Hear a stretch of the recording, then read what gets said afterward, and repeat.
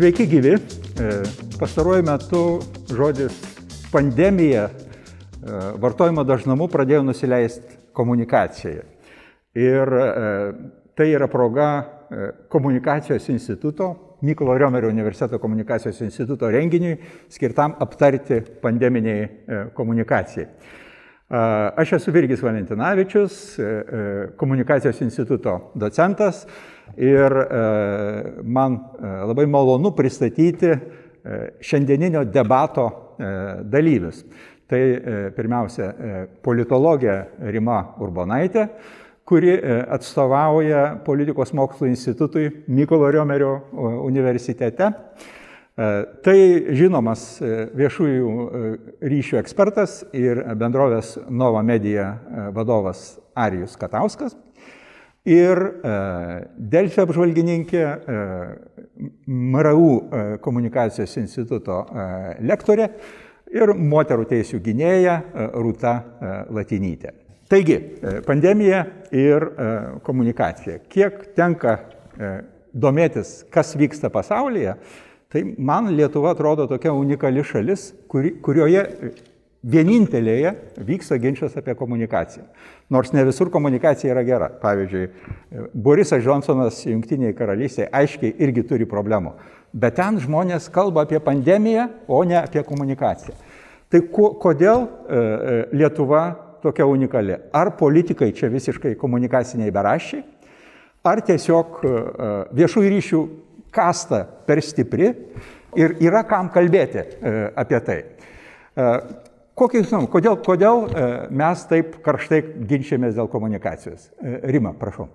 Man atrodo, kad politika ir komunikacija, jos eina visada šalia ir jos turi eiti už rankučių susikibusios, o kai vieni šiek tiek supranta apie politiką, o kiti supranta šiek tiek apie komunikaciją, tai kartais tos sesutės per kalnelį ir nesueina. Ir tada toks stebimas, kaip aš sakau, žvairumo efektas, nes viena pusė vieną žiūri, o kita pusė kitą žiūri. Iš esmės reikia žmonių, kurie, kaip aš sakau, būtų tam tikrą prasme du viename, tai suprastų ir vienus procesus, suprastų ir kitus procesus. Nes kai tu galbūt gerai žinai komunikaciją, bet labai mažai turi supratimo apie politinių sprendimų prieimimo tam tikrus algoritmus ir visą kitą, tai tu gali paskui daryti labai rimtas klaidas. Politikai irgi, kurie galvoja, kad svarbiausia mūsų sprendimai, o pakomunikuos kažkas kitas, arba aš tiesiog išeisiu kažką pakalbėsiu po posėdžio, irgi daro labai rimtą klaidą. Tai dėl to ir paskui turime keistų situacijų, kai atsiranda tiesiog nesusikalbėjimai, kai atsiranda skirti, skirtingi kažkokie a, pareiškimai, kurie tarpusavyje nedėra, nors jie išeina iš vieno ministrų kabineto. Tai natūralu, kad daug kyla tokio nereikalingo chaoso, kai jis kyla, o visi dar ir šiaip jau yra ne pačios stabiliausios psichologinės būklės, tai dar labiau įsiaudrina ir dar daugiau čia to visiškai nereikalingo, man atrodo, tokio susierzinimo, kurio galėtų nebūti. Bet e, aš manau, kad komunikacija visada yra svarbi. Politika ir komunikacija yra sunkiai atsiejami dalykai. Ir aišku, klausimas, kokie tie profesionalai ką sprendžia, bet e, nes ne, ne, vis, ne, ne kiekvienas komunikacijos specialistas gali būti geras komunikatorius ir politikoje. Čia irgi reikia tai suprasti. Tai aš dėl to atkreipčiau dėmesį, kad tiesiog kartais yra nesuvokimas, kad Jeigu tu nori nebūti žvairas, tai reikia, kad šitos dvi sesutės per kalnelį sueitų, o kartais jos tiesiog nesueina. Ar jau? Na, e, jau pirmo karantino metu buvo labai aišku ir apie tai viešoje, viešoje erdvėje komunikacijos žmonės šnekėjo, kad dabar valstybinis sektorius ir ministerijos ir panašiai iš tikrųjų pamatys, kokia svarba yra žmonių dirbančių komunikacijoje jų srityje. Nes realiai tos, to, ta diskusija dėl komunikacijos, jinai buvo ir pirmo karantino metu prie Sauliaus Kvernelio ir Darygos, ir apie tai mes diskutavome, ir dabar tas pats. Tai, e, tai tiesiog mano nuomonė, ilgalaikės problemos, kurie buvo jau daug, daug metų mūsų valstybinėme sektoriuje, e, iškelimas į paviršių. Komunikacijos žmonės, e, visos ministerijos turi komunikacijos žmonės, tos atsakingos ministerijos turi pakankamai didelės komandas. Ir aš nebejoju, kad jie yra iš tikrųjų geri profesionalai. Klausimas yra, kiek jie yra klausomi kiek jų balsas išgirstamas yra. Čia viena dalis. Antra dalis yra tai, kad mes, man atrodo, pirmojo karantino metu arba Sauliaus kvernelio vyriausybės metu neturėjome tokios aiškiai išreikštos opozicijos būnant pozicijoje.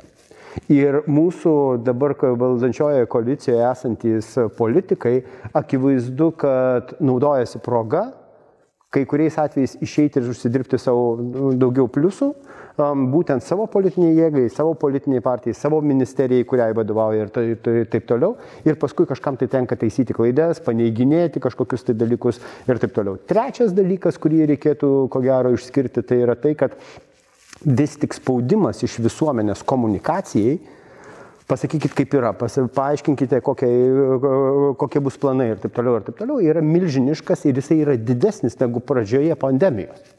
Mes tiesiog laukiam jau gal, galų gale, kada tai baigsis. Paprasti žmonės. Plus yra socialinė erdvė, kuri sukuria didžiulį na, spaudimo iliuziją. Ir politikai yra priversti kai kuriais atvejais kalbėti tada, kai jie neturėtų kalbėti. Nu, tiesiog nu, normaliam sąlygom čia pratilėtumėm ir viskas būtų tvarkoj. Ir tada dabartinė vyriausybė pasėmė, mano nuomonė, labai gerą, bet e, blogai gyvendintą strategiją būti atviriem kiek įmanoma daugiau.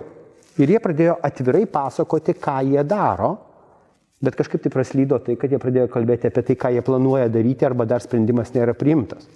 Ir tada įsivedė dalis ta, kad e, jūs kaitaliojate nuomonę savo, nu, nu, nutarėte padaryti sprendimus, paskui juos atšaukėte ir taip toliau ir taip toliau.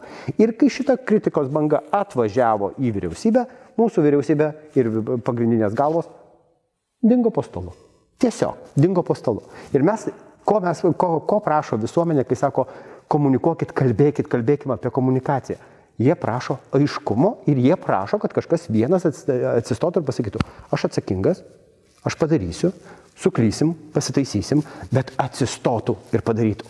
Dabar viešoje erdvėje mes kalbam apie komunikaciją, bet iš tikrųjų turėtumėm kalbėti apie tai, kad nėra nei vieno lyderio, iš tų visų trijų galvų, ar kiek ten keturių galvų, na, kurios yra, su, kuris, kurio, kuris galėtų imtis atsakomybę būti rūporu daromų veiksmų, kartu ir būdamas atsakingas už tai, kokias bus pasiekmes. Mhm. Na, ar jau truputį papildant, e, e, tai e, pirmas premjeras, kurio komunikacija buvo plačiai diskutuojama, buvo Andrius Kubilius gerokai anksčiau. E, Rūta, e, jūsų požiūris į tą e, komunikacijos karštumo klausimą pas mus. Iš tiesų, kai mes kalbam apie krizinę situaciją, mes turim COVID metu krizę ir labai ilgą, reikia atskirti dar du dalykus komunikacijos, kad tai yra viena, ką mes sakom ir dar yra tai, kas yra daroma, tai yra sprendimai, nes kiekvienas veiksmas taip pat yra iškalbingas. Tai yra komunikacija ne tik per žodžius, bet ir per veiksmus. Ir mes kartais suvedam ir, ir aš manau, galbūt ir dalis politikų priema komunikacijos misiją kaip e, rūporo misiją, kaip tai, ką reikia pakomentuoti. Bet iš tikrųjų reikia labai atsakingai apie komunikaciją galvoti jau sprendimų lygmenyje ir galvoti, ką kiekvienas veiksmas reikš visuomenėje, kaip visuomenė tai priims. Ir kalbant apie visuomenę, tai dalis dalykų gali būti netikėti, tačiau dalis yra pakankamai nuspėjami net aprašyti teorijose. Tai jeigu mes turime bėdą, turime krizę, arba kitaip tariant, turime pokytį, COVID yra labai didelis pokytis, tai visi elgėsi daugmaž panašiai pagal tradicinį kableros pokyčio modelį. Iš pradžių yra neigimas, tada visi sako, o ne tik ne tai, tada yra pyktis, kuomet visi susinervina, tada prasideda dėrybos, kad gal galima būtų čia kaip nors išsisukti, galbūt ne, nepaklusti, galbūt kažkaip kitaip. Tada visuomenė apima depresiją, kada jau atrodo visiška neviltis ir tik po to galima tikėtis kažkokiu būdu pasiekti susitaikymą, naujų žinių įgyjimą ir jų pritaikymą. Ir šitoje vietoje, ką reikia daryti su komunikacija kiekviename iš šitų etapų, tai jinai turi būti kuo gausesnė, kuo didesnis neigimas, kuo didesnis pyktis, to jos reikia daugiau ir jos reikia kuo įvairesnės, ne tik faktų, jų paaiškinimų, bet lygiai taip pat ir emocijų, ir lyderystės, ir autoritetų, ir žmonių, kurie galėtų kurti pasitikėjimą netgi tada, kai sprendimų lygmenyje mes tiksliai ne, nežinome, neturime aiškaus atsakymų. Ir aš manau, kad būtent emocinės komunikacijos dalis, tai, kas kurtų pasitikėjimą net tada, kai nėra aišku, ko gero yra ta silpnoji grandis pas mus dabar. na, kaip rūta diagnozuoja tokias vaikiškas komunikacijos lygas, kad tai yra pradedančiųjų klaidos. Dabar Rima kalbėjo apie neatskiriamumą politikos ir komunikacijos. Ar jūs taip pat galų galiai baigė savo pasisakymą to, kad nėra lyderystės, tai yra politika, taip? Tai, tai mes čia matome tą tokį akivaizdus įtarimas, kad komunikacijos kokybė priklausoma nuo politikos kokybė. Ir ta prasme, Arijus truputį užsiminė apie tai, bet gal tada galėtume konkrečiau palyginti, kuo skiriasi politika ir komunikacija per pirmą karantiną ir dabar. Arija. Vienas dalykas, kurį mes aiškiai matėme pirmo karantino metu ir netgi jau pokštai buvo socialinėje erdvėje ir visur kitur, kad, na, ponas Veryga neišeina iš televizijos. Nu, jis visą laiką yra, vis, visą laiką yra ekrane, kur tu įsijungsi šaldytuvą, atidarai ir ten yra veryga. Ne? Mes iš to, iš to juokiamės, jis darė daugybę klaidų, buvo ir netikslios informacijos, buvo visko, bet jo paties buvo daug ir nekilo klausimo, kas čia yra operacijų vadovas. Na, nu, nu, galim pritarti jam, galim nepritarti, galim analizuoti klaidas, kurias jis darė, bet jo visą laiką buvo labai daug. Į daugybę klausimų buvo atsakoma gerai, blogai, čia kokybės nežiūrėkim, žiūrėkim kiekį patį informacijos. Jo yra daug, tam tikrų momentų prisijungia Saulis Kvernelis su savo dalimi ir iš tikrųjų atrodo, tu gali vėlgi pritart, nepritart jų politikai, bet yra kažkas, kas už tai atsakingas. Taip, jie ten melavo dėl, dėl e, šitų e, kaukių gydytojams, ten buvo daugybė nesąmonių padaryta, bet va to paties vaizdo buvo aišku, kas yra už tai atsakingas. Antrojo karantino metu, tai taip, dar ne, neužmirškime, rinkimai mums įkrito į tą laikotarpį, kada mes turėjom visišką chaosą viešo, viešoje erdvėje. Atėjusi valdžia gavo didžiulį pasitikėjimo kreditą iš visuomenės patys jį sukūrė. Beje, jūs gerai paminėjote Andriu Kubiliu. Jis, jis ateidamas, aš netgi jokiausi kažkurioje tai laidoje, kad konservatoriai matyti taip lemta yra ateiti į, į valdžią tada, kai yra valstybėje didžiulė krizė. Lygiai tokia pačia sistema atėjo dabartinė valdančioji dauguma. Šitie daro viską blogai, jie slepia tikrą informaciją, tikroji informacija bus mums labai blogai ir taip toliau ir taip toliau. Ir žmonės patiki, patiki jiems, valdykite. Ir š, kas įvyko, mano nuomonė, kertinio lūštančio va šitoje vietoje.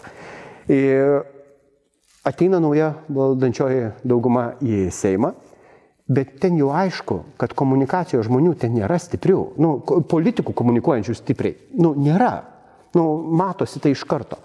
Daukanto aikštė, kuri turi užimti tarpinę poziciją arba turi subalansuoti tą bermudų trikampį, kaip aš vadinu, tarp dviejų gedimino galų ir čia, ji ieško savo vietos pasaulyje ir irgi negali pasimti, nu, tokios, e, na, to e, valdančio kažkokią tai situaciją. Ir uh, laikotarpis mėnesio pusantro, kada visuomenė, mano nuomonė, labai sutiko su griežtom sąlygom karantino, mes nebaudėm iš karto vyriausybės, matėme ir per reitingus, ir per viską, leido jam susigrupuoti uh, viską puikiai komunikacijoje. Jie turėjo laiko susistatyti žmonės, susistatyti procesus ir taip toliau ir taip toliau. Ir atrodė, kad tai padaryta. Iš tikrųjų, pirma, pirmus mėnesius atrodė, kad yra viskas gerai. Ir tada man atrodo, kad nutiko tas lūžio taškas, bent jau kada aš pradėjau kalbėti, kad, oi, nu, savo, savo galvoju, kad čia jau yra e, e, sisteminė problema. Tai yra vakcinų pirmųjų atvežimas. Atsimenate tą momentą? Kas ten buvo padaryta su komunikacija? Jie aiškiai tikėjosi, aš nežinau, galbūt aiškiai tikėjosi didesnių kiekių, ten keitėsi tie kiekiai, atvežė ten 10 e, tūkstančių ar kiek ten 20 tūkstančių pirmųjų dozių ir taip toliau. Ir žmonės pradėjo jau laukdami vieną bangą, tai kas čia vyksta, tai kaip jūs čia nesusitvarkėt, kas čia dabar darosi. Ir mūsų žmonės, komunikacijos žmonės, esu tikras, sakė politikams aukščiausioje valdžioje, kad dabar jums laikas eiti ir kalbėti ir prisimti atsakomybę, bet koks politikas norės susideginti. Tiesiog elementari baime politikų, mano nuomonė, nulėmė kad komunikacija, taip mes kalbam apie komunikaciją, bet iš tikrųjų ne apie tai reikėtų kalbėti, vėlgi aš grįžtu atgal. Nulėmė tai, kad Uh, jie išsigando. Bet kodėl išsigando? Čia vėlgi, vat, gal ir rimai klausimas. Opozicijos spaudimo tai faktiškai nebuvo jokio. Realiai, jeigu dar būtų dadėtas, tarkime, Saulis Kvernelis su Ramūnu Karbauskiu gerai sudėliojęs viską ir užvažiavęs su savo komunikacinė linija ant dabartinės vyriausybės. Aš manau, kad nematytumėm nei vieno televizijai žmogaus. Ir tada nutiko paprastas dalykas, tu įsijungi televizorių, o ten nėra nieko. O ten nėra nei, nei šimonytės, nėra nei dulkio, arba dulkis įspaustas į kampą žurnalistų atsakinėja į klausimus, bando savo ramių tonų, bet čia ne to reikia. Bet e, e, aš bandydamas būti e, Ingrido Šimonytės advokatu, o tai ko mes vaikus mokom? Tai Šimonytė taigi nemeluoja, o Veryga melavo ir daug. Ir Verygos komunikacija buvo labai paprasta, mes labai gerai tvarkėmės pavasarį, O kai e, baigėsi vasara, tai jisai sakė, Lietuva nesusitvarko. Tai, e, e, tai taip išeina, kad, kad geriausias komunikatorius yra Algirdas Butkevičius, kur jo problemų niekas neprisimena. Tai kodėl mums tas yra tas moralinis vaidmuo. Nu, ta prasme, šimonytė akivaizdžiai yra na, doresnė, bet, bet jinai pralaimi. E, jeigu mes paimtumėm verygos intensyvumą ir šimonytės sažiningumą ir pabandytumėm perdengti abu dalykus, mes gautumėm tobulą kokteilį. Tobulą kokteilį. Ar reikėtų tiek daug, jeigu tai nuoširdžiai? Ko gero nereikėtų tiek daug, nes verygai teko kokį 30-40 procentų atsakinėti į kaltinimus dėl jo melų ir panašių dalykų, dėl to jisai buvo viešoje erdvėje. Bet iš tiesų tu turi išeiti ir kalbėti, kitaip tavęs negirdės nu negirdės, tu negali pasislėpti už mitinių ekspertų tarybos ar dar ką nors. Tu negali už jų pasislėpti, tu gali jais pasiremti. Bet jeigu tu suklydai, tu išeini ir pasakai, atsiprašau, suklydome, dabar veiksmai bus tokie. Bet šito dalyko, kai nėra, tada nutinka paprastas, bet taip, Butkevičius gerai, bet jis neturėjo krizinės situacijos. Lietuva yra krizinėje situacijoje. O krizinėje situacijoje reikalingas lyderis. Tiesiog lyderis, kuris prisimtų atsakomybę už veiksmus, kuriuos daro, už klaidas, kurias padarė. Ir Pirma, komunikacija. Pirmas, dar, aš manau, kad dar komunikacija irgi turi būti būtent dviejų tokių lygmenų, kai tu komunikuoji apie tai, kas yra dabar, kas, kas įvyko, kokia šiandien situacija ir taip toliau, bet tu užseimi paraleliai komunikaciją, kuri yra ilgo laikotarpio, kitaip tariant, jeigu tu vis tiek supranti rugsėjo mėnesį, kad gruodį, gruodžio pabaigoje, sausį tu turėsi vakcinas, tai tu supranti, kad tau reikia dabar tai daryti. Jau planuoti ir step by step turėti žingsnius. Tai yra va, tas ilgas bėgimas ir kada paskui tu staigiai pribėgi kažkur, kur ten jau reikia va, šiandien ir dabar, nes pasikeitė situacija, staigiai XY kažkas tokio nutiko. Tai vėlgi, man atrodo, šitie dalykai nesudėlioti. Ir ta lyderystė, kurią mes matome ir lyginam va, tuos du karantinus, aš visada sakau, yra visiškai skirtingi karantinai. Pirmas karantinas, kai visuomenė yra valdžios sąjungininkas. Visi tvarkingai, nu, okei, okay, 95 procentai, tvarkingai užsidarėm namuose. Bijojom, nesupratom visą kitą. Kas nutinka toliau? Gražus, gražus skaičiai, puikiai vasara, na, sunkus laikotarpis buvo, ko penkias savaitės nepatostogautų. O kas tuo metu turi vykti? Tuo metu turi vykti paruošiamieji darbai, nes būtent tu žinai, kad bus vakcinacija, tu žinai, kad ateina ruduo, tu žinai, kad bus antra banga. Ir nematyti, kad kol jūs atostogaujate per tą vasarą, samokslo teorijos jau bujoja, verda, konkuliuoja, tai atleiskit man tai jau niekaip su lyderystė nesusiję dalykai Nes tikras tas ir lyderis ir turi tai matyti. Jeigu valdžia imasi tos lyderystės, jie turi pirmi kalbėti ir komunikacinę prasme. Nes Arius turbūt ir, ir, ir, ir, ir Rūta tikrai patvirtins, kurie jau tokie gal labiau grinėjai komunikatoriai. Tu jeigu kalbi antras, visada efektas bus silpnesnis. Jeigu tu ateini su paneigimu informacijos, visada tas paneigimas ne taip nu, nuvilnys ir nuraibuliuos negu pirmas pasakymas. Jeigu tu bėgsi iš paskos, tu turėsi bėdų. Ir tas ir nutiko, beje, dėl to aš ir sakau. Pirmas, na, pir, skvernelio verygos valdžia, valdžia turi du etapus. Tas etapas, kai yra baimė, kai yra konsolidacija visuomenės, kai visuomenė yra sąjungininkė, tada etapas, kai yra štilis, jie faktiškai nesima nieko, bet e, džiaugiasi ir katučių patys savo ploja ir prašo, kad kiti paplotų dėl to, kad pažiūrėkit viskas gražu. O tada ateina ruduo, o tada ateina lapkritis ir vad kažkodėl lapkritį, spalį ir gruodžio pradžioj lyderystės nebėra. Tai aš noriu va, dėl to ir kelti klausimą, ar ta lyderystė, kurią mes matėme pavasarį praeitą, nebuvo tokia feikinė šiek tiek arba butaforinė, dėl to, kad ji turėjo išsilaikyti. Ir aš, pavyzdžiui, vat, ir to būtent nepamačiau, nes aš nuoširdžiai prisipažinsiu labai žmogiškai. Aš laukiau jau nuo lapkričio vidurio griežto karantino. Kitaip tariant, žmogiškai sėdi namie, užsakinėja dovanėlės kalėdinės internetu, kad tik kuo mažiau kontakto, viso to laikais ir galų galėtų žiūri skaičius ir supranti, kad tavo kalėdų nebebus. O valdžia tyli Ir man atrodo, kad čia ir nutiko ta problema. O paskui ateina šimonytė, jie ateina į visišką, jau visišką pragarą. Primenu, 3-4 tūkstančiai mirčių per dieną. Atsiprašau, užsikrėtimų per dieną, mirčių skaičius jau ten sukosi tarp 70-80, ten paskui tą statistiką koregavo, bet per žinias mes paprastai jau tokius skaičius girdėjome. Ir jinai, aišku, staigiai gesina, Bet lygiai taip pat pas juos atsirado ta trumpo, trumpos distancijos komunikacija, o su ilga distancija kaip niekas nedirbo, taip nedirbo. O štai dabar mes turime krūvą žmonių, kurie, uh, kurie tau ateina ir sako, kaukiams ne, testams ne, vakcinai ne, ir tada tu jų klausi, o tai kaip išeisim, o čia jau ne mano problema. Tik tai dar prašau, kad valstybė man sumokėtų visas prastovas, paremtų verslus ir visa kita. Ir man atrodo, va taip ir gavosi, kad uh, Ir pirmas variantas ir antras neturėjo ilgos distancijos matymo, nes yra dalykai, kuriems reikia greitos reakcijos ir greitos komunikacijos, o yra komunikacija, kuri daroma iš lėto, bet labai gerai apgalvojant.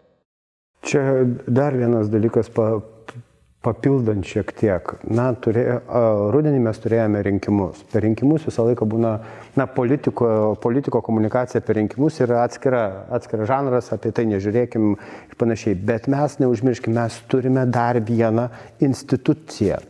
Dar vieną žmogų, kuris visai nesenai ir dabar šiuo metu yra labia, žmogus, kurio labiausiai beveik pasitikė visuomenė. Na? Jis tiksliai mato, kas vyksta, jis tiksliai mato, kad vyksta rinkiminė kampanija. Tai perimti lyderystę tuo metu, tam laikotarpiui, jis neturėjo teisės nedaryti to, jis privalėjo tai daryti, nes tu negali nueinančiai valdžiai palikti ir negali atiduoti ateinančiai valdžiai, nes jinai dar neturi įgaliojimų, jinai neturi prieimo prie informacijos ir taip toliau ir taip toliau. O rinkiminė kampanija taigi taip ir dėliojosi. Saulis Kornelis sakė, viskas tvarkojamės, viską sutvarkėm, viskam pasiruošėm. Kita pusė sakė, ne, nevelnio bus labai blogai. Bet nei vienas nepasakė, mes sutvarkysime, mes sutvarkysime šitą problemą, mes žinome, kaip tai padaryti. Net rinkimų metu nema, mes matėm daugybę planų, to paties Dulkio jau, jau po rinkimų mes matėm ten pasakymą apie 130 punktų planą kažkokį tai, bet niekas jo nematė. Taip. Niekas apie tai nieko negirdėjo. Net ekspertai, bet e, vakar teko kalbė, dalyvauti vienoje laidoje su a, duomenų analitiku pagrindiniu, kuris iš tiesų daugybę, daugybę dalykų matė. Jis sako, nu, ten buvo surašyti dalykai žmogui, kuris nori susipažinti su problema. Va apie ką eina kalba. Ir va šitoje vietoje, kai mum iškrito dauganto aikštė, kai jos nebuvo, mes gavomės, kad mes tapom vakume, absoliučiam vakume. Ir tada automatiškai svarba to paties Sauliaus Kvernelio, tos pačios Ingrido Šimonytės padidėjo nu, per daug. Mes galbūt netgi ir per daug Ingrido Šimonytės e, vyriausybės ir tikėjome. Bet vis tiek yra tokios detalės. Aš, pavyzdžiui, galvoju, uh, Verygos, aš net prisimenu, kad mes Verygą būtume matę, pavyzdžiui, kuris ateina į spaudos konferenciją ir ta spaudos konferencija yra taip, kad jisai, jisai ekrane, nuotoliniu būdu iš savo kabinetuko O čia kažkur dar kažkur kažkokioj kitoje erdvėje kažkas, kas ko komunikuoja tarp jo ten ekrane ir žurnalistų dar prie kitų ekranų, net atrodo smulkmena. O tu nori vat jį matyti čia, vietoj ir labai tiksliai ir aiškiai kalbantį, nepasiduodantį daug, nu, tokiems nu, keistiems dalykams, kurie nesukuria tokio įspūdžio, kad nu, man reikia to vat, lyderio, nu, šiuo atveju tikrai reikia vado, o to vado Tai nėra. jo, aukštas ir gražus e, nesulyderiavo toje vietoje. Tas, va. ir dabar e, e, Rima, lygindama du karantinus, jinai pa- pažymėjo, kad, kad pirmas buvo žymiai silpnesnis ir tai nebuvo tokia gili krizė. Tai Rūta, jums gal truputį patikslintas tas klausimas, ar galima lyginti tą situaciją karantiną pavasarį ir tai, ką, tai, ką gavo Šimonytė, na, paraidžiui. Aš gal pratesdama kolegų mintis e, pastebėsiu, kad iš tikrųjų, kai yra lyderystės nebuvimas, apie ką kolega minėjo ir- Arijus, mes neturime vakumo, yra kažkas, kas e, tą lyderystę pasijima. Mes neturėjom lyderystės ypatingai rinkimų laikotarpiu, nes viena valdžia nuėdinėjo, jie jau nieko nedarė, kiti dar neturėjo įgaliojimų ir įgaliojimus, tarp kitko, gavo irgi su tam tikrų uždėlsimų. Bet e, tai jau buvo labai gera dirba tam, kas bujojo dar nuo vasaros įvairiom samokslo teorijom, įvair- įvairiam alternatyviam lyderiam, kurie ima priešintis, kurie ima neikti tą bendrą liniją. Ir šita problema išriškėjo, aš net sakyčiau, ne per pačią pradžią vakcinacijos per kalėdas, bet kai mes turėjome jau mokytojų vakcinacijos etapą ir tada pamatėm, kad visuomenė elgėsi ne taip, kaip lyg ir buvo planuota iš valdančiųjų. Ir čia yra ko gero pagrindinis skirtumas tarp pirmojo ir antrojo karantino ir dabar jau trečiosios bangos, tai kad iš pradžių visi kaip ir suglaudėjusi, žiūrėjo, kas čia bus, elgėsi labai sažiningai, pirmas karantinas buvo labai sažiningas, visi stengiasi, laikėsi, jau nu, rudenį ir, ir per kalėdas jau tai tapo nebevaldoma, nes Tu paskelbi tam tikrus nurodymus, o visuomenė jais netiki. Tu paskelbi vakcinaciją mokytojams, o jie atsisako tai daryti. Ir štai čia tada pasira, pa- pasirodo pasiekmes lyderystės nebuvimo, netgi pavėluotos, tai jos nebuvo rudenį, o, o ta banga atsirita vėliau. Ir be abejo, ateinantiem naujam lyderiam tai buvo dvigubai sunku, tu turi jau nebevaldomą minę, tu turi jau iškilusius visokius kitus pranašus, kurie pasakoja savo teorijas, savo samokslo teorijas. Ir šitoje vietoje tenka su visu tuo dirbti, bet tu negali dirbti taip pat, kaip tu planavai seniau. Emocionaliai, ramiai, tyliai, ar, ar kažkaip atsiklausti visuomenės nuomonės kiekvienu klausimu. Tai jau nebeveikia. Visuomenė jau nėra tavo sąjungininkė ir šitoje vietoje reikia keisti žaidimo taisyklės. Dar vienas dalykas, galbūt truputėlį ir atsakant, e, koks buvo skirtumas, bent jau man jisai yra matomas.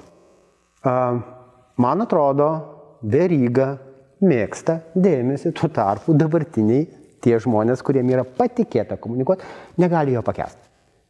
Bet atrodo, jis mėgaudavosi netgi kriziniai situacijai, tarkuojamas dėl nesąmonių, kurias padarė, jis mėgavosi tuo, kad jisai gali stovėti priešais kameras. Tuo tarpu dabar, kai mes matome žmonės kalbančius, na, viešoje erdvėje, nu, mūsų tos pagrindinius politikus, nu, netgi baimė šiek tiek matos. Jie netgi šiek tiek susigūžę, jie nenori eiti, o čia va to reikia, galbūt šiek tiek Napoleono to lengvo, lengvo dvelgsmo čia reikėtų. Čia dar vienas pavyzdys, kaip padarumas trukdo. e, Bet čia yra problema, kad gerai darbą. faktiškai visas kabinetas, man toks įspūdis tuo ir pasižymė, išskyrus galbūt aušrinę armonaitę. Visų kitų mes faktiškai net nematom, dėl to, kad beje kiti lygiai taip pat galėtų būti tas nesuportas arba ta parama, bet čia ir yra problema, kad jos nėra. Ir iš Seimo beje jos irgi nelabai ateina. Gabrielius Landsbergis, pavyzdžiui, būdamas partijos fra, didžiausią frakciją turinčios pirmininkas, visiškai nėra, e, nėra ta parama ir tas numeris, vadinkim taip, antras, e, kuris buvo per rinkimus, jis dabar yra tiesiog užsienio reikalų ministras. O paramos netgi pačiai Ingridai Šimonytei, kad, pavyzdžiui, tai būtų du lyderiai. To irgi nenutiko. Aišku, a, Gabrieliaus Landsbergio reitingus mes irgi žinom, čia yra daug rizikos, nebereikalo anksčiau iš kampanijų jis irgi būdavo patraukiamas, bet tai vėl yra problema. Ir jos nenumatyti tu negalėjai, tada reikėjo galvoti, ką darom. Nes kabinete šiandien, sakau, yra aušrinė armonaitė, taip, su jos viso, visom klaidom, bet ji yra aktyvi. Ji yra girdima ir ji nori eiti ir kalbėti, kai kiti nenori kalbėti. Taisyklė irgi paprasta. Jeigu tu nekalbė, už tave kalbės kiti. Ir tai padarys tau pačiu nemaloniausiu būdu. Stebėtina, kaip, kaip diskusija apie komunikaciją vis iškyla ir iškyla ir iškyla lyderystės klausimas. E, aš dabar norėčiau grįžti prie e, rūtos žodžių, kad e, reikia keisti žaidimo taisyklės. Iš tikrųjų, rezultatas pagrindinis. Mes turim tokį monstrą antivakserį. Jo didelį, didelį kepenį, kurio balsas Lietuvoje labai stiprus ir iš tikrųjų dabar pagrindinė problema, ką su juo daryti ką su juo buvo galima padaryti ir buvo nepadaryta, tai tarytų mes jau aptarėm. Iš tikrųjų, ką šitoje situacijoje daryti su, e, su ne, e, e, ta problema, kad, kad, kad dalis visuomenės, jie uh, užsidarė uh, echo chamber, kuriame visiškai nepripažįsta, taip sakant, nei pandemijos, nei, nei vyriausybės politikos, nieko. Kaip pramušti šitą dalyką? Kokie būtų jūsų patarimai, Rūta? Kalbant apie lyderystę, mes irgi kalbam daugiau apie vieną lyderį, apie tai, kad jisai na, turi kažkaip visus suvienyti ir matom, kad nelabai sekasi. Bet reikia turėti minti, kad na, mes turim visuomenę labai margą, yra skirtingos grupės, tie socialiniai burbalai, jie turi savo lyderius ir jie tam tikrą prasme galėtų kiekvieną savo grupę atskirai vesti į priekį. Ir čia yra labai įdomus momentas, ko tarp kitko lietuvių visuomenės apklausose netaip buvo paplitę kaip Junktinėse Amerikos valstijose. Ten kiekvienoje apklausoje yra įdėtas demografinis rodiklis, už ką balsuoja. Jie visą laiką lygina respublikonų ir demokratų nuotaikas. Ir tarp kitko pas mus tarp apklausų irgi buvo visai neseniai padaryta, kur Buvo klausimas ir pagal skirtingų partijų rinkėjų nuomonės. Ir šitoje vietoje aš sakyčiau, jau gula atsakomybė ant pečių tų simpatikų, tų žmonių, politikų, kurie juos atstovauja, tarp valdančiųjų, irgi atsakomybės, kaip jie savo rinkėjus būrė, kaip jie juos na, nukreipia visai valstybei reikalingą linkmę, nes mes turim krizę, kurią turim visi spręsti, nepaisant to, kad ten tarpusavį vyksta visokios kovos. Ir štai čia iš tikrųjų galime kalbėti apie tokią pasidalintą atsakomybę, kad kiekvienas lyderis savo grupiai, kurioje yra pelnęs pasitikėjimą, turėtų na, jausti atsakomybę ir kartu už ją ir atsakyti. Tai mes turim dabar tikrai susiskaldžiusią visuomenę, na, turim pagal demografinius duomenis visiškai skirtingus portretus, tų, kurie pasitikė mokslu, tų, kurie nepasitikė, turim tuos, kurie linkia skiepytis, kurie atsisako. Ir aš sakyčiau, kad čia netgi galėtumėm deleguoti ir klausti, kaip jūs galėtumėt na, į tai reaguoti tų politikų, kurie tuose kraštuose yra išrinkti ir yra tam tikri vietiniai lyderiai. O jie dabar tarsi atsitraukia ir palieka na, atsakomybę valdantiesiam, kad, žinot, jūs čia nais lik ir nieko nedarot, o patys lik ir kasa duobė už nugaros ir, ir užsiema visiškai kitokia komunikacija, kokiam nors ten šalčininkų rajone, kur situacija yra kiek kitokia negu kad galbūt Vilniuje.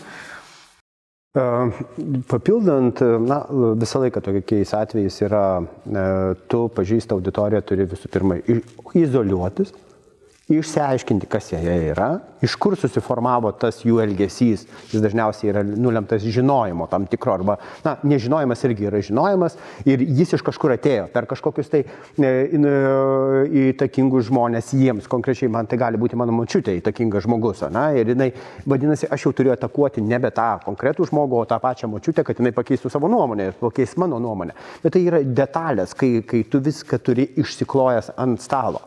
Bet dabar nėra padarytas pats pagrindinis dalykas. Nėra izoliuotos tos auditorijos. Dabar mes kalbame apie antivakserius, bet šalia eina žinutės, kad tie, kurie nori skiepytis, jie negali skiepytis. Jeigu tu dirbi su tais, kurie nori skiepytis, tu turi, nu, yra užduotis juos paskiepyti kiek įmanoma greičiau pagal visas galimybės. Ne? Ten galbūt reikia keisti tuos planus ir taip toliau ir taip toliau. Ekspertai irgi jau pateikė savo nuomonės. Galbūt nukelt uh, antro skiepo, kad iki pirmą skiepą kiek įmanoma daugiau. Čia galbūt mokslininkai apie tai turi kalbėtis ir tai turi būti padaryta. Bet mes turime du miksus. Mes turime miksą vieną tai, kad tie, kurie nori skiepytis, negali pasiskiepyti. Ir turime tuos, kurie sako, kad skiepai yra blogai um, dėl daugybės dalykų paveikimo. Jie yra labai skirtingi nuo jokio išsilavinimo neturinčio iki aukštuosius išsilavinimus turintys žmonės, visiškai pasklydę per visus regionus ir taip toliau ir taip toliau. Jie yra neizoliuoti, su jais nėra dirbama. Tai, tai, tai ką paminėjo Rūta. Ir kai mes tuos du, du dalykus, sprokstamus mišinius turime vienoje rankoje, automatiškai neigiamas srautas informacijos apie skiepus, apie skiepijimos procesus, apie tai, kaip valstybė nesusitvarko su šito reikalu, jisai pradeda sklisti visoje viešoje erdvėje ir dominuoti. Dabar jeigu mes atsidarysime, niekasgi nedžiugauja dėl to, kad mes paskėpėjom 30, 50 ar 60 tūkstančių žmonių per dieną. Visi sako, kad nepaskėpėjom tų, žiūrėk, sistema užlūžo. Ir mes pradedam ieškoti negatyvo visur, tai tik tai tų antivakserių pasakymas, nu pasižiūrėkit, nu, jeigu jie nesugeba sistemos pasidaryti, tai kokį velnę man ten suleis. Ir tu negali atmušti argumento. Nu, nes tas argumentas nesamoningas, bet kita pusė irgi neveikia.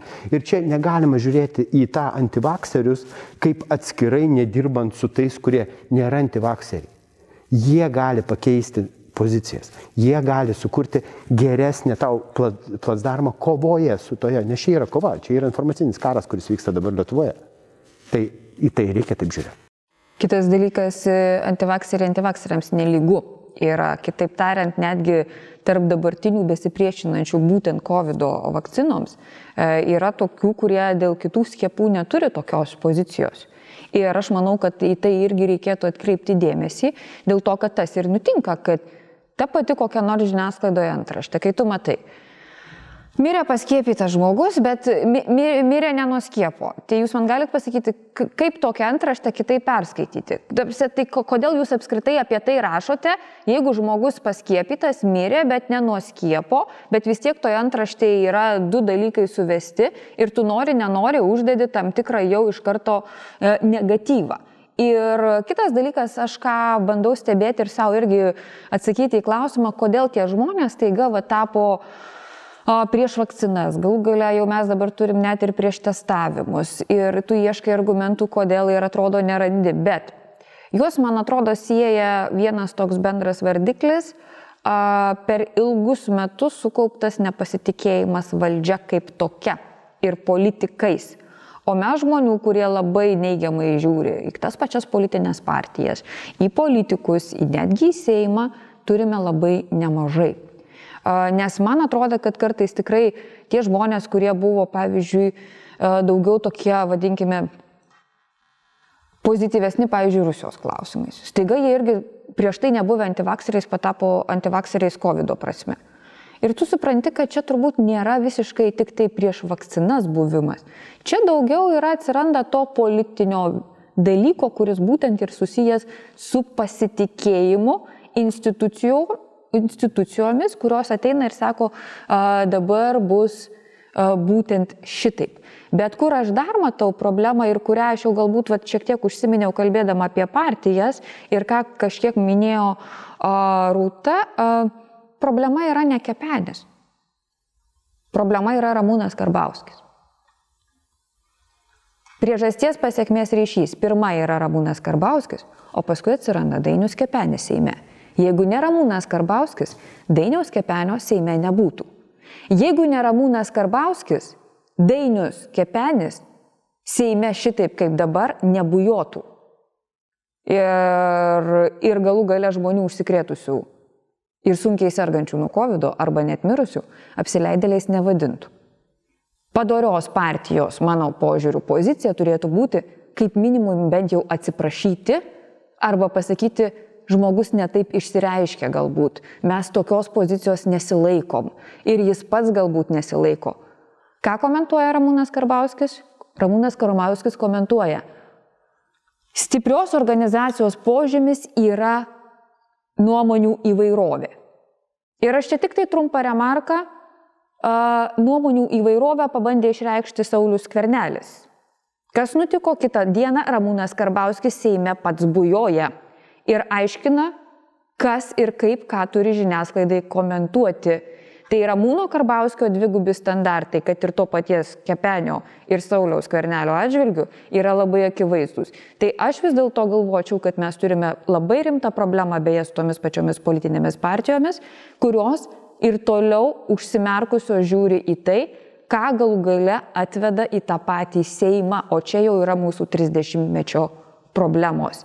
Ir aš žiūrėčiau ir į tai, kad, na, po velniais žmonės. Ok, aš, aš į Viktorą Uspaskichą nededu jokių vilčių. Čia jau yra Atleiskit, bet tai yra klinika, tegul mane nors į teismą dabar paduoda už tai, bet man atrodo žmonės raginti gerti vandenį ir tokiu būdu gydytis COVID, tai yra mažų mažiausiai žiauru. Jo frakcijos nariai iki šiol nei vienas neatsistojo, išskyrus tą patį Gugą, kuriam tai buvo šiaip gera proga pasiplauti iš Seimo ir nepasakė tiesiai ir šviesiai, ką apie tai galvoja. Uh, tai aš matyčiau čia problemas ir galų gale, na tai yra tų partijų, kad ir skirtingų dabar lyderiai Sustok, susėskit, susitarkit ir pradėkite dirbti iš tikrųjų, o ne tai, kad, vat, kaip ir tas sakė, vieni dabar bando čia iš tos dobės išlipti, o kiti dar iš šono pakasa. Tai va tokia va ta situacija. Tai va, e, e, raginat partijas dirbti, Rūta, e, Rūta taip pat kalbėjo, kad kai kurios partijos su savo rinkėjais turi tą supratimą ir reikia iš ant to kažką statyti. Na, o Arijus labai aiškiai pasakė, kad, kad reikia pirmiausia elementarius dalykus padaryti, dirbti su tais, kurie nori skiepytis. Bet galų galę mes visiems turime e, e, Kepenį, Karbauskį ir mūsų Rima, kaip tik jinai faktiškai bilinėjasi su Kepeniu. Ne, aš tiesiog e, užklausiau, tiesiogiai, ar viskas yra čia su tuo gerai. Už tave mes labai palaikom, viskas tvarkoja. Ir, bet e, ir, ir ta bendroji, e, ką, ką Rima kalbėjo, iš tikrųjų pasitikėjimo valdžia e, problema. Bet, bet man nu, e, vis viena e, kažkaip man labai sunku suprasti, kodėl e, e, nepasitikėjimas valdžia e, ne, nesukelia diskusijos, kad, pavyzdžiui, dėl teisės eiti e, per gatvę per raudoną šviesą. Taip? Tokios diskusijos nėra.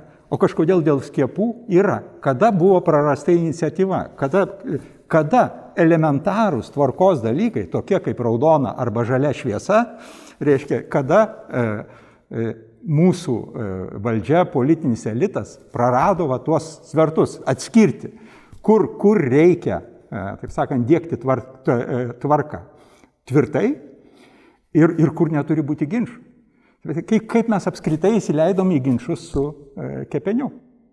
Čia, čia reikėtų, kepe, ke, kepenio atvejais yra visiškai unikalus, dar pažiūrėkime prieš tai buvusią kadenciją.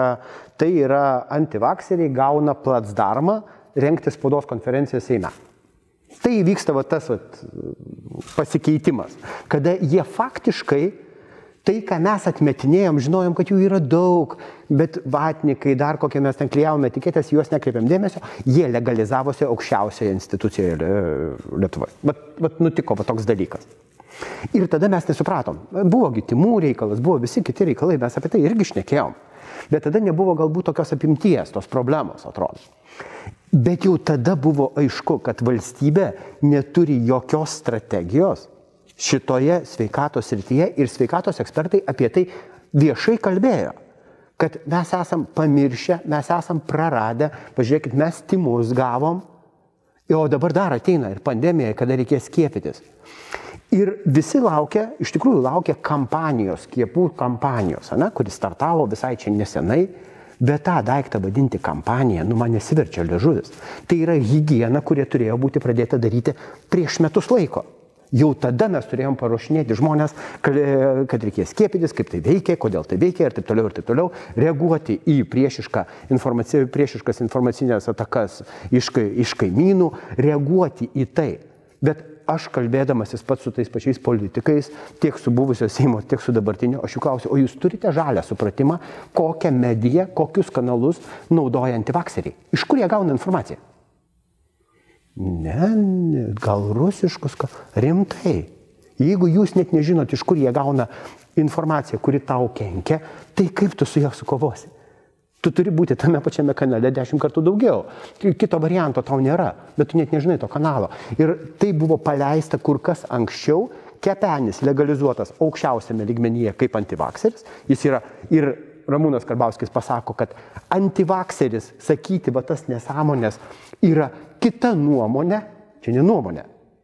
Nu, vadinkim daiktų savo vardais, kaip amžinatelis Aurelius Katkevičius yra pasakęs. Nu, čia ne nuomonė, čia nu, nėra alternatyvių faktų. Yra Čia pasiūlymas eiti per raudoną šviesą. Taip. Reikalavimas teisės eiti per raudoną šviesą. De, aš kartoju, kartoju ir kartosiu, kriziniai situacijoje, komunikacijoje demokratijos būti negali. Nu negali būti. Turi būti bendras susitarimas, griežtas įsipareigojimas kalbėti tai, o ne kitaip. neįvedinėti naujų terminų, neaiškinti, kad galima turėti savo nuomonę, e, kurie akivaizdžiai kenkia visuomenės interesui. Nu, negalima taip daryti, bet kai šitie dalykai yra paleisti, dabar išgaudyti tuos daiktus bus labai sudėtinga. Na, aš irgi manau, kad e, tikrai yra labai labai nelengva situacija, dėl to, kad tiesiog žmonės jau daug ką yra sugėrę, kaip, kaip tie vat sugertukai, iš jų dabar visą tai ištraukti yra labai sudėtinga. Ir aš jau pati savo turbūt ne, nekuriu labai daug iliuzijų. Man atrodo, mes tiesiog turime sulaukti laiko, kai vakcina tampa prieinama visiems. Ir labai tikiuosi, kad tas laikas kuo greičiau ateis. Tada žmonės, kurie prisima atsakomybę, jie skiepijasi, jie grįžta į gyvenimą ir grįžta saugiai į gyvenimą. Tie, kurie vis dėlto nusprendžia šito nedaryti, taip, iš dalies jie gyvena saugiai tiek, kiek gyvena saugiai kitų sąskaita, vadinkime taip, bet šiuo atveju tada aš sakau, okei, okay, nesiskiepykit, sirkit ir linkiu nenumirti. Tai va šitoj vietoje aš manau, tas ir dabar turbūt einame to link, nes labai daug praradome, daug, labai daug praleidome ir surinkti sunku. Ir aš manau, kad dabar taip ir uh, Taip ir veikiausiai bus, bet e, tai nereiškia, kad iš viso apie tai nereikia kalbėti. Tai indikatorius kitoms, ateit, kitoms problemams, kurių aš manau dar bus. Ir valdžiai čia reikia irgi pasidaryti labai geras išvadas.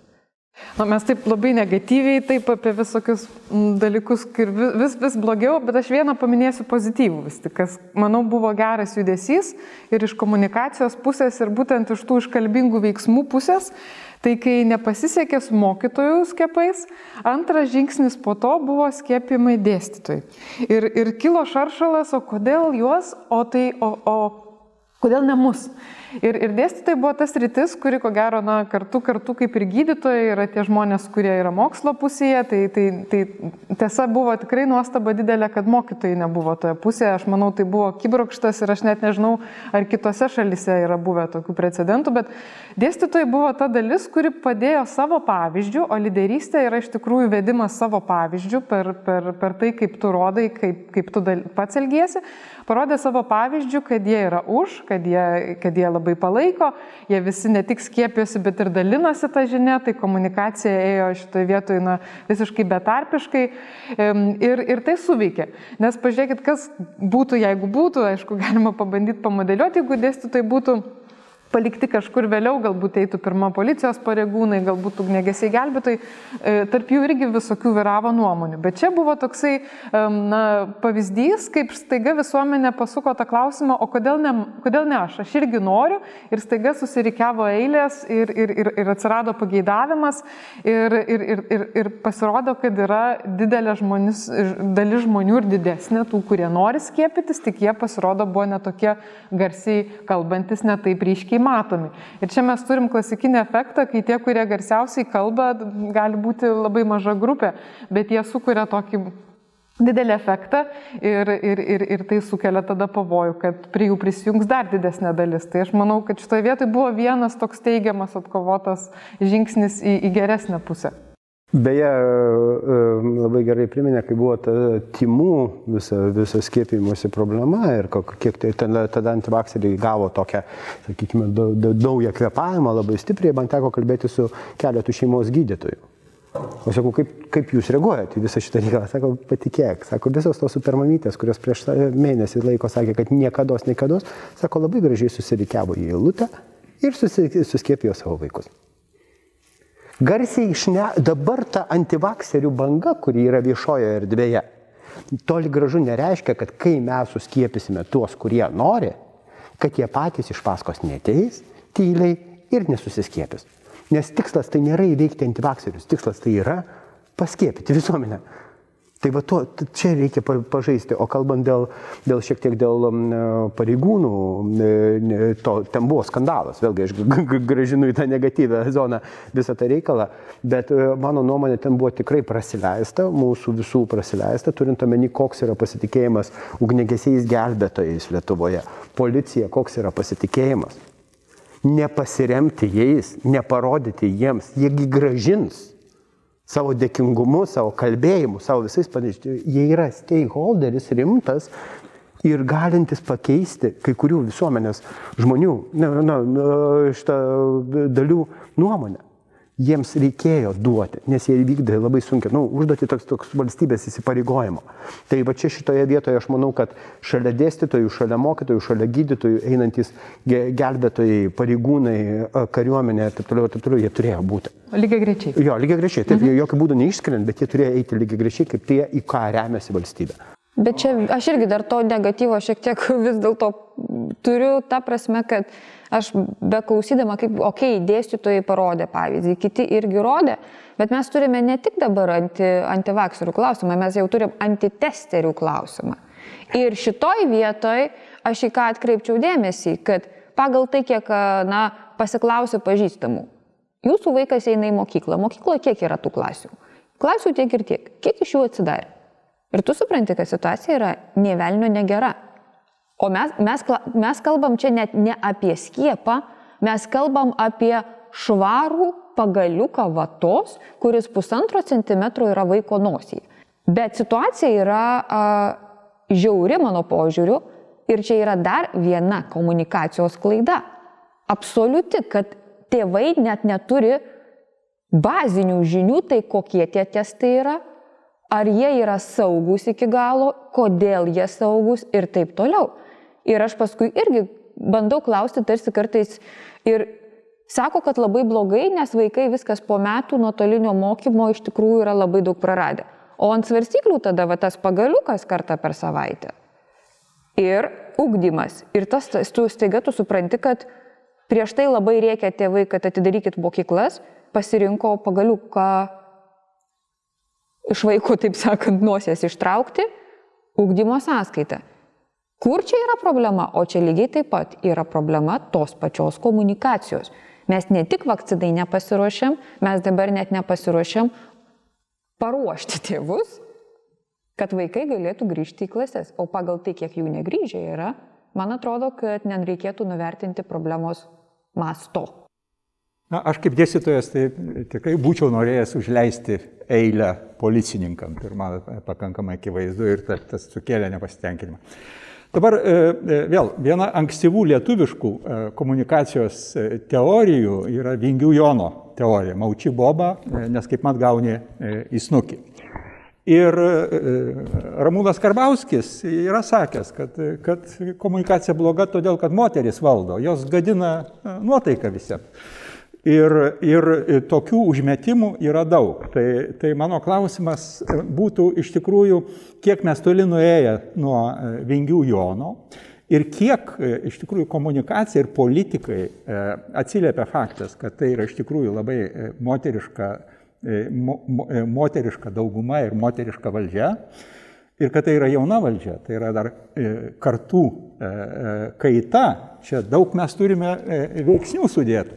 Aišku, e, akivaizdu, kad, e, kad e, Karbauskio tokie vingių joniški pasamprotavimai, na, jie gali kelti pasipiktinimą, bet mano klausimas, kiek, kiek jie gali nuaidėti visuomenė, kaip, kaip, kaip sakant, įvertinti teigiamai, kiek mes toli nuėjome nuo, nuo vingių jono, va šitoj pandemijos situacijai. Rūta. Tokia krizė kaip pandemija, jinai yra labai gera dirba stereotipams suvešėti.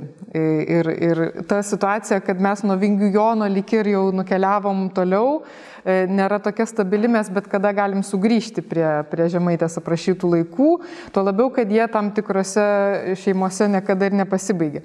Tai e, šitoje vietoje yra bėdos kelios. Viena yra tai, kad mes turim sudėtingą situaciją, visuomenė išgyvena nerimą ir, ir ieško labai paprastų paaiškinimų įvairiam klausimam ir, ir stereotipai, jie labai e, gajus yra ten, kur yra baime, kur yra noras supaprastinti pasaulį, sudėti į rėmus, paaiškinti ir paaiškinti, kas kaltas ir kodėl.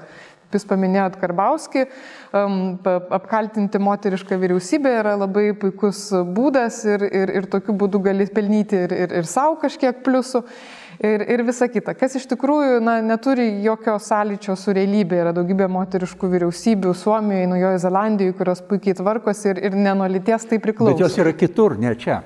Taip, bet esmė, kad tai nepriklauso nuo lyties, bet priklauso, kaip mes į tai žiūrim. Jeigu mes tai linksniuojam ir, ir, ir pradedam kurti stereotipus, tiksliau atkurti stereotipus, kurie buvo sunkiai greunami per daugybę metų ir, ir pradedam juos vėl nešti į viešumą, tai mes sukūrėme dar vieną pavojų, ne tik COVID pavojų, bet sukūrėme ir, ir, ir dar vieną pavojų, kad mes šiek tiek grįžtame link Vingių Jono laikų atgal.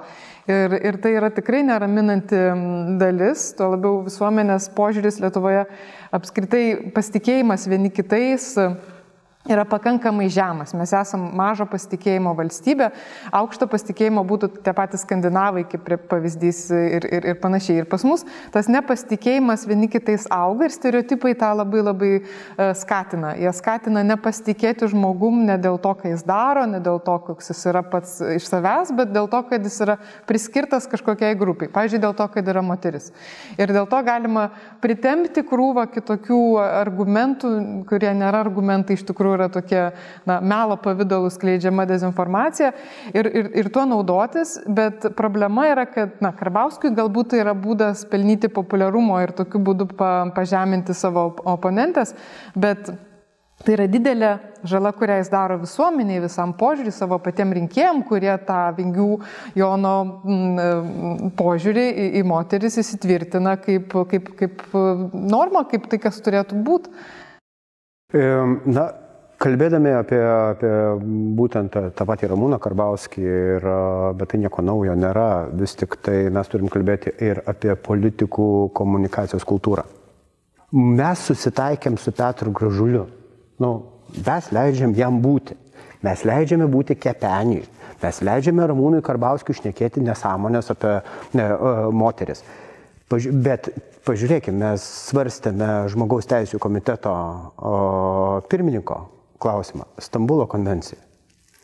Ir aš tada atsimenu Facebook'e parašiau, jeigu dabar Brunonas at, va šiuo metu atkeliautų pas mus, jam lygiai tas pats būtų, kas ir buvo tada. Nes mes niekuo nuo to nepabėgom. Ir, ir bet blogiausias dalykas yra tai, kad politikam, kurie leidžia savo tai daryti, mes duodam labai daug šansų toliau būti viešoje erdvėje nėra galbūt laikas ir politikoje atsirasti, taip pat ir žiniasklaidai klausimą. Ar tikrai viskas turėtų atsidurti viešoje erdvėje? Jeigu nebus, gal nebus. Petras Gražulis jau yra kažkiek tai užbanintas, nebe viskas praeina. Na? Bet vat, atsistoja Ramūnas Karbauskis, pasako dalyką, kuris absoliučiai skaldo visuomenę gražina tam tikrą dalį į Vingių Jono ar ten Brunono laikus, na, su kuokom miškuose. Ir mes leidžiam tai jiem daryti. Ir jie gauna eterį, jie pasiema tą eterį, juo naudojasi, kalbėdami su savo tiksliniam auditorijam, su savo rinkėjais ar potencialiais rinkėjais. Visiškai pažeisdami moralės normas kažkokias, tai kokios bebūtų tuo metu, ar tai Ramūnas Karbauskis vienas, Petras Gražulis kitas, Kepenis trečias. Tai čia aš manau, kad sureikšminam, leidžiam jiem būti, jie yra dalis visuomenės, kurie taip pat masto. Ir man, pavyzdžiui, po to Ramūno Karbauskio pasakymo kilo mintis, kad valstiečiai turėtų pasikeisti partijos pavadinimą į kolukiečiai. Tiesiog. Ir va tas išsispręstų, iš karto visiems pasidarytų aišku, mums reikia pradėti iš jų nežinau, tyčiotis negalima, nu, negražu ištyčiotis iš žmonių, bet aiškiai pasakyti, kaip, kaip jie atrodo.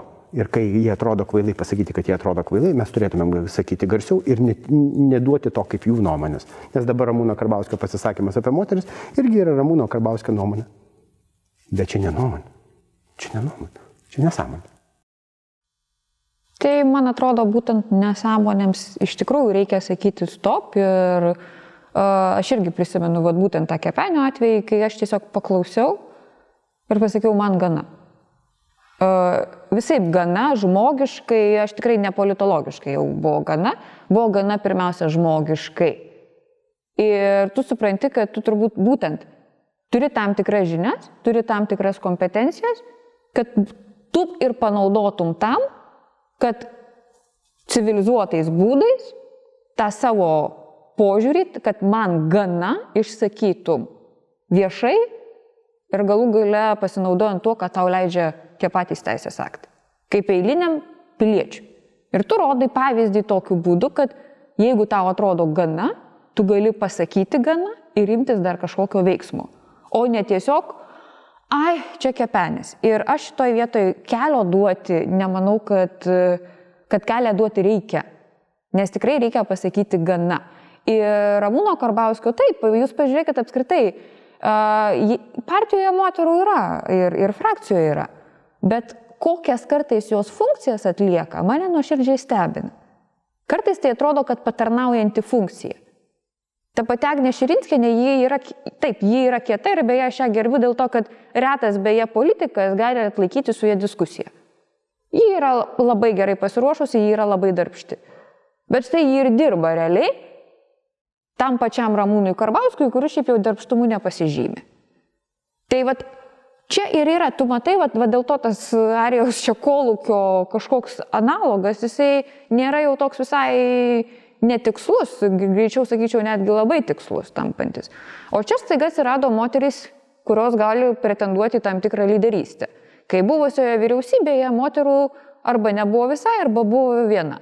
Bet nepaisant to, kad buvo labai vyriška vyriausybė, aš tik tai priminsiu šitos vyriausybės lyderio, taip vadinamo, paskutinės dienas.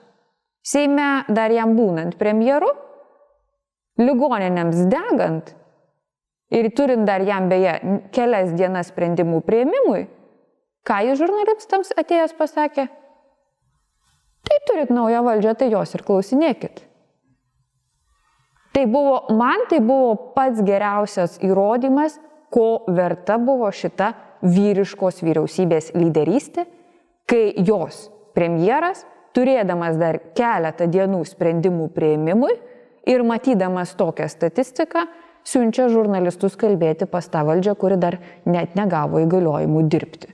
Politikai, mano požiūriu, nejaučia atsakomybės visiškai ir beje, jie skatina vidutinybės, nori patys išlikti tomis vidutinybėmis su tais visais stereotipais ir viskuo, bet mes neturime politikos avangardo.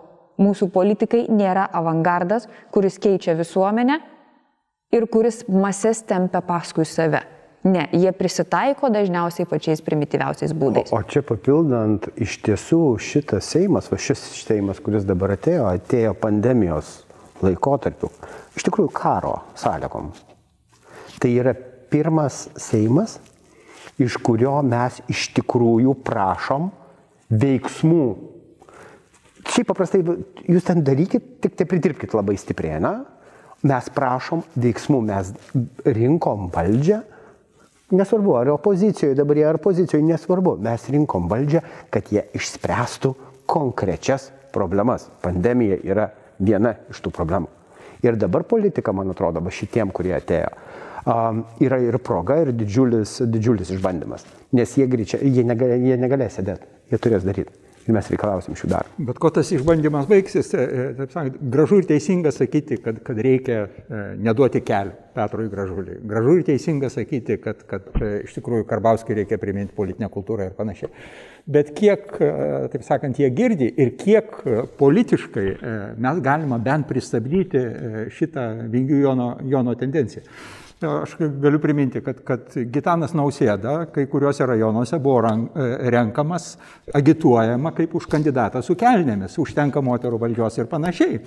Ir, ir tada, e, e, e, taip sakant, moterų valdžioje klausimas, jisai, taip sakant, džiaugiamės, kad, kad jų yra žymiai daugiau, bet ar, ar, ar neteks labai greitai liūdėti po šitos vyriausybės pasirodymo, kad, e, kad visa šita publika gauna papildomo peno ir įrodymų, kad, kad moterų valdžia yra bejėgė. Lygiai tas pats dėl jaunų žmonių. Profesorius Šarūnas Liekis aiškina, kad teisingumo ministrė yra vaikas ir, ir rimti teisėjai jos neklausys.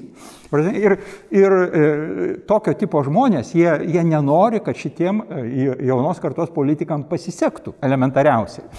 Tai, tai Ar jums netrodo, kad, kad čia iš tikrųjų ant kortos pastatyta labai daug? Čia yra, yra, yra tokios civilizacinės pažangos klausimas. Jeigu šitai vyriausybei rimtai nepasiseks ir šitos visos problemas, apie kurias mes kalbam, tai e, e, jos tęsis ir gilės ir panašiai, arba kitaip sakant, politiškai pralaimė šitą vyriausybę. tai, tai mes nenutolsim nuo Vingių Jono, mes grįžime atgal. Kitas dalykas, aš netgi pasakyčiau, o kur turime pirmąją ponę šituo laikotarpiu. Kur ji? Tai mes matėme ne išeimą ir paramą, vat, moterims valdžioje, ką mes pamatėme, mes pamatėme Velykų pirago receptą, štai ir viskas. Na, nes kiekvienoje istorijoje apie Vingijoną mes turime ir senąją Vingienę, kuri nepalaiko moters toje situacijoje, kurie reikėtų galbūt palaikymo, palaiko tą Vingijoną ir, ir, ir pučia į tą pačią dūdą.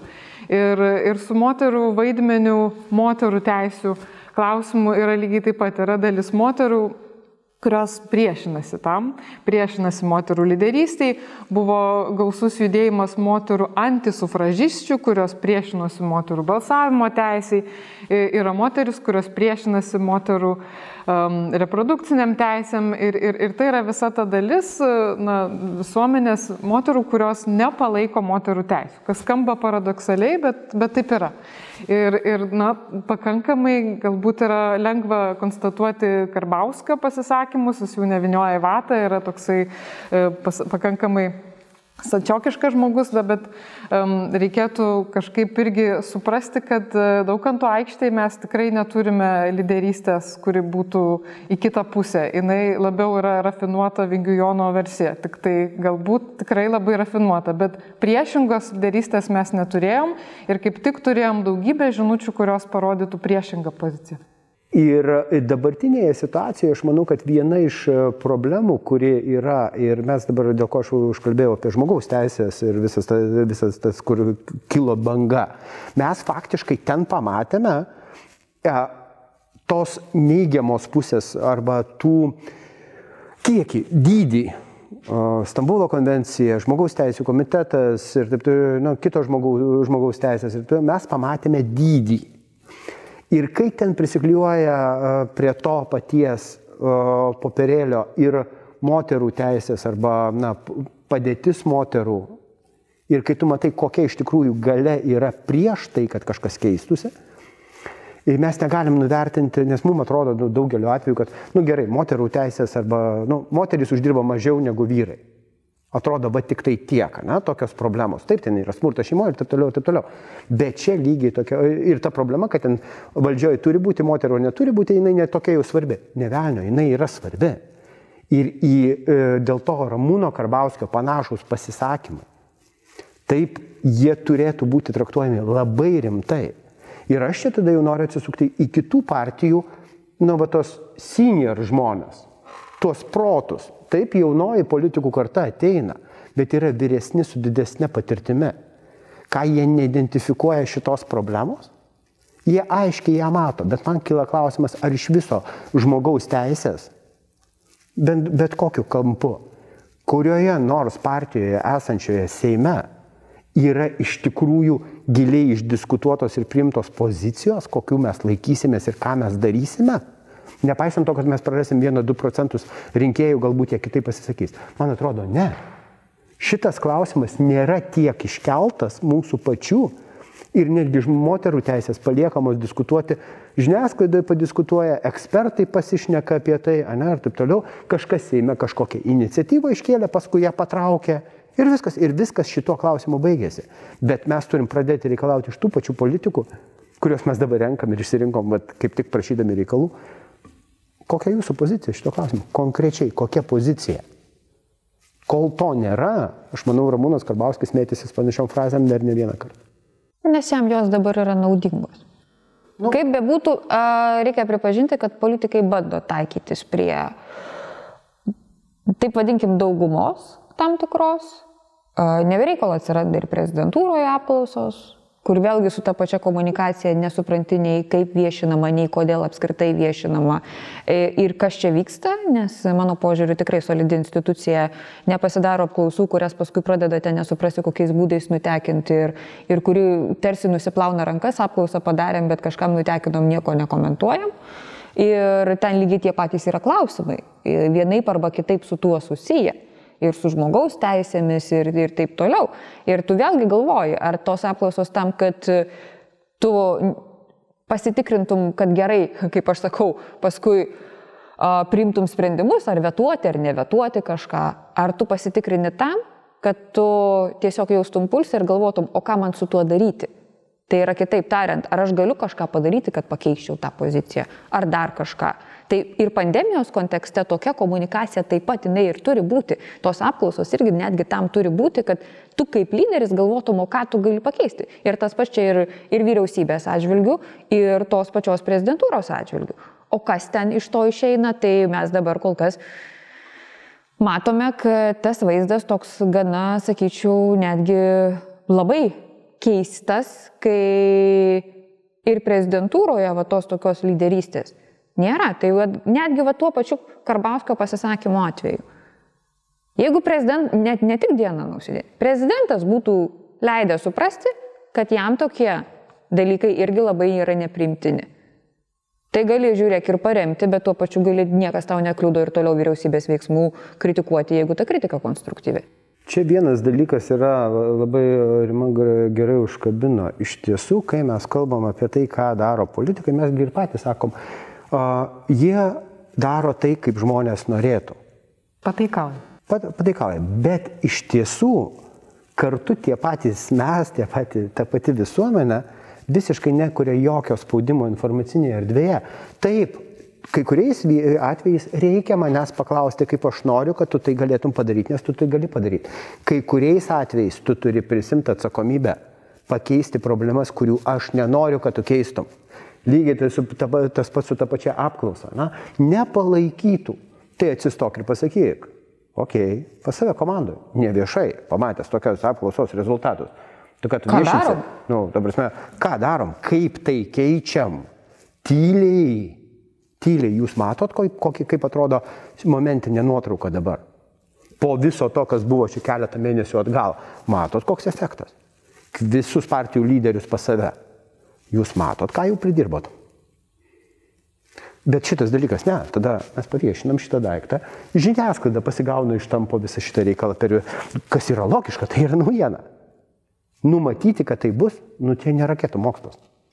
Taip, kolegos, e, e, reikia e, kažkaip judėti prie pabaigos ir užviršuoti, kaip žemaitėje sako. Ir aš, aš siūlyčiau tada tokį paskutinį labai trumpą a, klausimą, kadangi, na, vakarės kalba, kad tai buvo vyriausybė, į kurią dėtos tam tikros viltis ir, ir pagrysti lūkesčiai ir, ir, kažko, ir tikimasi kažko. Ir e, skirtingai nuo Daukanto aikštės, kur, kaip aš suprantu, mūsų diskusijos dalyviai nelabai vilčių turėjo ir anksčiau, ir, ir dabar jų e, jau visai nebeturi. Tai tada klausimas iš tikrųjų, e, Ingridai Šimonytė tenka didžiausia atsakomybė už tai, ką mes kalbam, į, į kurią pusę judės šalis, kultūrinė, civilizacinė prasme. Ir e, nuo pandemijos suvaldymo, nuo komunikacijos kokybės priklauso e, faktiškai e, šitos vyriausybės ateitis ir didelė dalimi politinė perspektyva e, šalies apskritai. Tai koks būtų jūsų nu, vat, vienas pats svarbiausias e, patarimas Ingridai Šimonytei, kadangi jinai yra atsakomybės centre šitos vyriausybės, į kurią dėtos viltis. Rūta. Mes kalbėjom apie krūvą blogų pavyzdžių, kaip nereikia daryti, nereikia pataikauti miniai, nereikia problemos buvimo įvardinti kaip priežasties jos nespręsti, ką padarė apklausos e, prezidento. Patarimas būtų laikytis lyderystės. Ir, ir, ir lyderystė yra daryti tai, kuo tu tiki, kartais netgi plaukti prieš srovę, bet būti matomų lyderių, tuo, kuris tiki savim ir būrė tą pasitikėjimą aplinkui save Net jeigu kažkuris veiksmas trumpuoju periodu galbūt bus ne visai teisingas, kaip ir Arijus minėjo, visada yra galimybė atsistoti ir prisimti atsakomybę ir atsiprašyti, ir tai yra lyderio atsakomybė. Tai būtų padrasnimas eiti ir iš tikrųjų būti labiau matoma lyderė ir, ir prisimti tą vėliavą ir, ir, ir tiesiog rodyti kelią. Mano papildant mano nuomonė, vienas iš svarbiausių dabar dalykų yra suvokti, kad e, klaidos arba atakos, kurios yra daromos dabar prieš e, šitą vyriausybę, po dešimties metų bus Ingrido Šimonytės klaidos, kaip dabar yra Andriaus Kubiliaus klaidos. Nors tai yra visos vyriausybės daromos klaidos. Nėra Ingrida Šimonytė, ten toli gražu nėra pagrindinis klaidų generatorius. Šitoje vietoje reikia pagaliau susitarti tai daugumai, kad jinai kalba vienu balsu tose vietose, kur visuomenė yra labai svarbu. Kitaip tariant, susitvarkyti komunikacijos higieną, elementarią higieną. Kas ką šneka, kada šneka, kaip susiderinam tai, ką šnekam. Vien šitą dalyką pasidarius ir pridėjus prie to, ką sakė Rūta, mes jau turėtumėm labai labai stiprų pagrindą judėti į priekį. Tada niekas nebuls, tada mes neskaitysim antraščių, kur Seimo pirmininkė ir premjerė nesusitarė kažkokiu tai klausimu ir žmonės net nesupranta, kokiu klausimu jie nesusitarė, bet mato, kad nesusitarė. Tai žiūrėk, sekanti antraštė yra koalicija braška. Bet, bet tai yra tai, ką reikia išspręsti Ingridai Šimonytė. Ingrida Šimonytė turbūt tikrai nėra ta, kuri eitų pasroviui. Šiaip jau žmogus, kuris kaip tik panašu, kad nebijo eiti prieš srovę ir daugiau remiasi savo pačios tam tikrų matymų, mąstymų ir dar turi turbūt tą racionalumo grūdą, kuris irgi dažna politika yra apleidęs. Ir čia jos yra beje problema tuo pačiu, ne tik tai privalumas. Bet ką aš matyčiau, tai būtent e, konfliktuoti už uždarų durų, ne viešoje erdvėje. Kitas dalykas - komunikuoti ne tik apie pandemiją. Ji neturi savęs uždaryti kaip premjerės ir politikės į pandemijos dėžę. Ji yra premjerė ir pandeminių laikotarpių, ir kaip panašu planuoja būti ir nepandeminių laikotarpių, kai situacija stabilizuosis. Šiandien jau reikia vyriausybei kalbėti ir apie klausimus, kurie nėra tiesiogiai susiję su pandemija. Problema kokia yra, kad kol kas vyriausybė nėra pateikusi nie vienos idėjos, kuri būtų aktuali didžiai daliai visuomenės ir kur tai būtų pozityvi žinia, kad štai mes turime idėją, kuri vienaip arba kitaip gali pagerinti nemažos dalies visuomenės gyvenimą, gyvenimo kokybę. Ir tai būtų žinia ne apie pandemiją. Nes bus blogiausia, kai ji tikrai liks tiesiog pandemijos premjere ir pandemijos politikė, o tai jau gali būti tiesiog riba ir slengstis bet kokiai tolesniai politiniai veiklai, nes vienas buvo naktinės reformos mokesčių premjeras, o kita gali būti pandemijos premjerė. Tai šito labiausiai nelinkėčiau ir dėl to vyriausybė reikia galvoti, kad komunikacija neturi būti irgi tik apie pandemiją, reikia kalbėti ir apie kitus dalykus, o to kalbėjimo dabar beje irgi nelabai yra. Taip, tai labai anksti diskusijoje raktinių žodžių pasidarė lyderystė ir jinai išlaikė tą aukštą gaidą iki, iki pabaigos. E, visi e, diskusijos dalyviai iš tikrųjų pagrindinę problemą e, ir politinę, ir komunikacinę maisto mato lyderystės stoką ir patarimai Ingridai Šimonytai faktiškai ar dabar, ar ateityje po pandemijos visiems tai yra apie lyderystę. Na ir aš vis prisimenu, e, mano mėgiama citata apie komunikaciją studentam yra e, Ronaldas Reiganas, kuris didysis komunikatorius ir kai jo klausė, kodėl jisai toks didelis komunikatorius, jo atsakymas buvo, aš tiesiog komunikavau gerus dalykus. Tai, e, e, tikiu, kad mūsų bendras patarimas gali būti, Ingrida, pradėti tą daryti, tiesiog nu, komunikuokit gerus dalykus, negi nėra. Tai, tai labai ačiū. E, E, puikiems diskusijos dalyviam, Rimai Urbonaitai, politikos institu, mokslo institutas e, MRU, Arijus Katauskas, Nova Medija vadovas ir viešųjų ryšių ekspertas, ir Rūta e, Latinytė, Delfi komentatorė ir MRU komunikacijos instituto lektorė. Diskusiją vežiau aš, Virgis Valentinavičius, iš komunikacijos instituto MRU. Labai ačiū. Thank you.